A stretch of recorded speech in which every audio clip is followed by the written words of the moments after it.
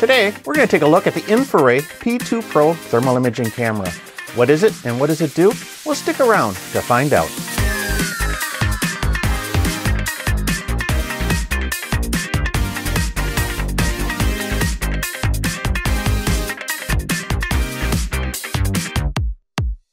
So who is InfiRay and what is the P2 Pro thermal imaging camera? InfiRay is a leading infrared thermal imaging camera and chip producer.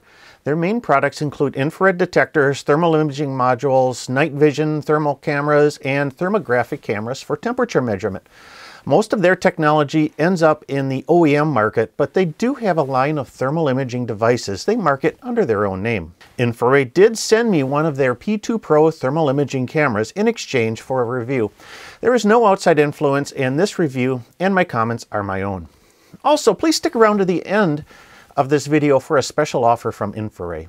The P2 Pro is billed as the world's smallest thermal camera. It certainly is tiny and we'll take their word on that. The P2 Pro connects to your mobile device, either Android or iOS, and with the use of the app, turns it into a sophisticated thermal imaging camera. Coming out of the box, you'll notice that the P2 Pro is tiny. I don't have a lot of experience with thermal imagers, but this thing is really small. Along with instructions and a little soft storage bag, the P2 Pro consists of two main components the thermal imager itself, and a macro lens attachment that clips onto the camera. The camera itself weighs 9 grams, is 27 by 18 by 9.9 millimeters in size. It can be ordered with either an iOS Lightning or a USB Type-C connection. The imager has a resolution of 256 by 192 pixels, which is quite good, with a pitch of 12 micrometers. Frame rate is 25 hertz, which is pretty close to full motion, and it has a measurement range of minus 20 to 550 degrees Celsius. The thermal imaging sensor has a focal range of a few inches to infinity, so it is capable of a wide range of sensing applications. But if you snap on the magnetic macro lens, the focal length is reduced to a few centimeters. This allows you to do a close examination of small parts, like checking for heat on a circuit board. This macro feature of the P2 Pro makes it a perfect companion for electronic repair and troubleshooting. What makes this camera functional is the P2 Pro app. So before using the camera, you will have to go to the App Store and download it. The instruction sheet told me to look for an app called P2 Pro, but I could not find anything with that search term. So I did a little bit of exploring and found that there are several InfiRay apps out there. I imagine they're for the variety of cameras that InfiRay sells. The correct app for the P2 Pro is called Thermal P2. The app downloaded and installed onto my phone without any issues. So let's take a look at the P2 Pro thermal imaging app. I'm going to walk you through the uh, Thermal P2 app on, on the phone here. I just got a, a inexpensive uh, handheld radio. I'm going to throw that underneath here. I'm going to boot up the app. Uh, when it first starts up, um, it it's gonna you're going to see the um, white hot uh, color palette. You can select various different color palettes uh, with this with this app, and that's right here under the uh, palette uh, button. You know, white hot, uh, black hot, uh, rainbow, iron red, jungle, aurora, golden red, medical dim light, uh, gold, and red hot. So uh, you can pick a palette that's pleasing to you or tells you the information you want. Uh, when the app first starts out, it's going to be in what P2 call or InfiRay calls the uh, simple mode.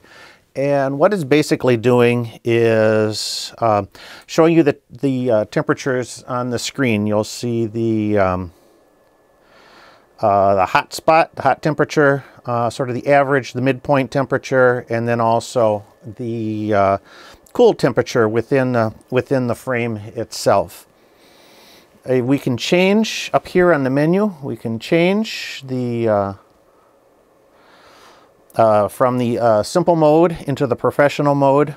we can also adjust the image settings, the automatic shutter switch, the continuous image capture, uh, measurement settings. we can switch between Celsius, Kelvin, and Fahrenheit. I've got mine set to Fahrenheit right now. Uh, burn prevention, this is an important feature. If you uh, point the uh, infrared detector at a very hot source point, it you could you could burn the sensor even when the camera is off.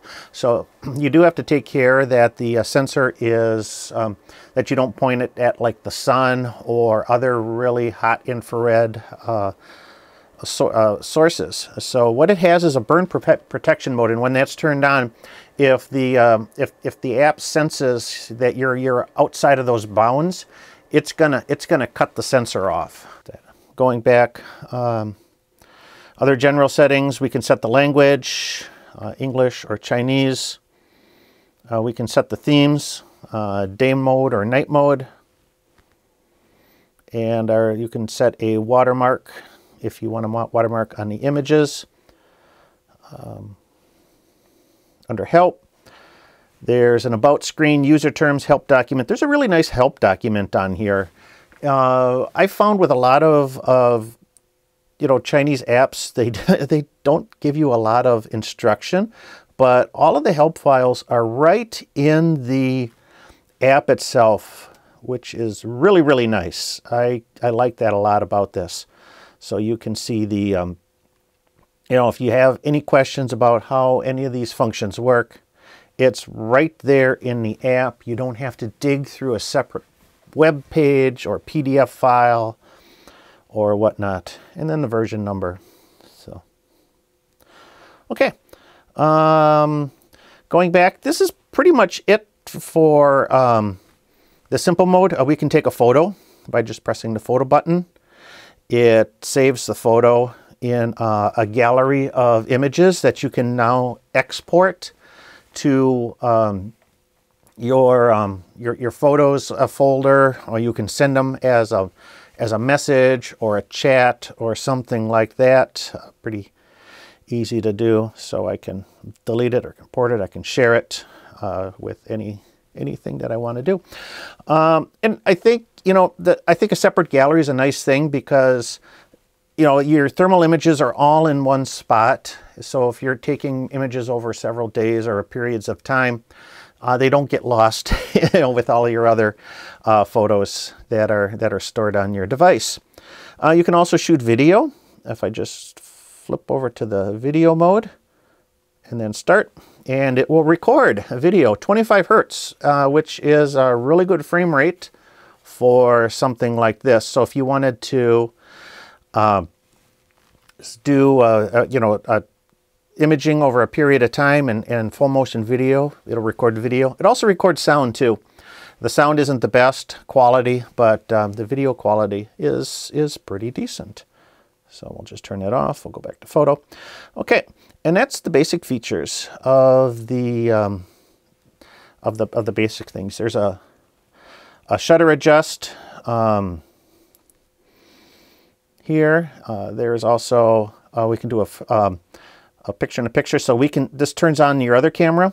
So you can see the real-time image along with the uh, thermal image.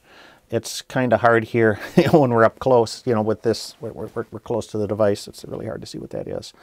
Um, but if you were shooting, say, video of, of a product and you wanted to see, you know, the, the image, the, the product itself in along with the thermal capture, you've got that you've got that ability. Uh, okay, let's going to go back into the uh, professional mode here, and uh, what that does is allows you to set points. So if I wanted to know a point in a certain spot, I can hit the point. Point one, it'll tell me the temperature. Point two, it'll tell me the temperature. Point three, it'll tell me the temperature, and those all show up along, you know, on the on the screen there. Um, I can clear those. If I want to do a line, I can set a line and it's going to show me the maximum, the minimum, and uh, the average temperature along that line. I can do frames. So if I wanted to do a temperature of a larger piece, it's going to show me the maximum, the average, and the minimum temperature within, within that frame. So I can capture, you know, uh, just subcomponents. I can do multiple frames. I can also do uh, multiple, multiple lines. I can remove them. So lots of, lots of functionality there. Uh, scale markers, uh, temperature, temperature scales. Really handy. Image flip, a variable correction, measurement modes. So high quality, wide range, automatic switching. We'll just go back to the high, the high image quality again.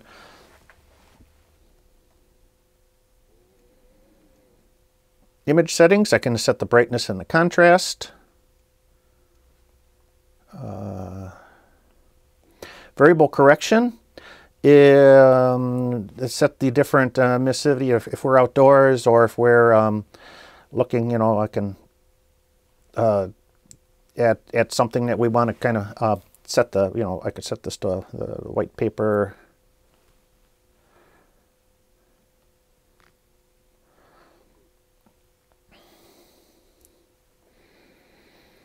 Uh, we can set the ambient temperature. We can set our distance, you know, how far away we are from the, from the subject. Uh, let's see. Rotate the image, flip the image. So as apps go, I think that, you know, the app here is fairly robust. It offers a lot of features for a basic uh, imaging, a thermal imaging uh, camera It does pretty much, you know, the things you're going to want it to do. And uh, you can use it for, you know, uh, observation, for measurement, for testing, for diagnosis and troubleshooting. Uh, pretty capable little device, a small, you know, fits on your um, mobile device uh, pretty well, and it just works. I'm just going to jump in here and say that if you find this video interesting and want to see more like it, well hit like and subscribe. That's my indicator to produce more of these types of videos. Thank you for your support. As for uses, because of the P2 Pro's small size, it is certainly an excellent companion to the, in the lab or workbench for taking quick thermal measurements or diagnosing an issue with an electronic device. For one example, I pointed the camera at the uh, Wolf River Sporty 40 coil on my vertical antenna. I wanted to see if there was a difference in heat buildup based on the duty cycle of a single sideband uh, transmission session and an FT8 digital session. Uh, both measurements were taken on different days, but the ambient temperature was the same both days. The initial temperature of the coil was similar, uh, between the two tests, and after 20 minutes at 50 watts transmit power, you could see a higher heat buildup with the digital communications versus single sideband. That is no way a scientific analysis of the coil, just an illus interesting illustration of the capabilities of the imager. For fun, I pointed the camera at the cat. Detecting an elevated temperature in people would also be another use of this camera. You could also use this device to find thermal leaks in your house. Um, as a night vision device, I think its utility is kind of limited though, uh, mostly due to the fragility of the device itself. And finally, I thought maybe uh, cooking would be a good application. I could use it to sense if I had a ripping hot pan. It certainly works on that regard. I could accurately tell the cooking temperature of my hot oil, although uh, the burn protection engaged multiple times while trying to cook with it. So, you know, this is an interesting trick, but I think I'm going to stick to a more conventional thermometer while cooking. So all in all, I, I think the InfiRay uh, camera is a pretty good value. It uh, works well for um, you know basic thermal imaging, especially indoors. You know if you're in the lab or on the workbench, uh, checking electronics components, and that's that's what I really believe that this camera is designed for. You know for night vision, not so much. You know it, it's just I don't think it's going to have that long-term durability if you're going to use it outdoors in those kind of purposes. But otherwise, you know for the value, this is really a good camera. And now for the good news, uh, InfiRay is providing a $20 discount if you purchase the P2 Pro camera. Uh, the camera itself is $299 and it's $349 with the macro lens attachment. Uh, there's some, looks like there's some discounts on and off uh, if you use the Amazon links in this video description below. Uh, but, if, but if you use uh, the coupon code KB9VBR123, you'll receive that additional $20 discount. Not only is this the smallest thermal imaging camera on the market, it's probably one of the most affordable too.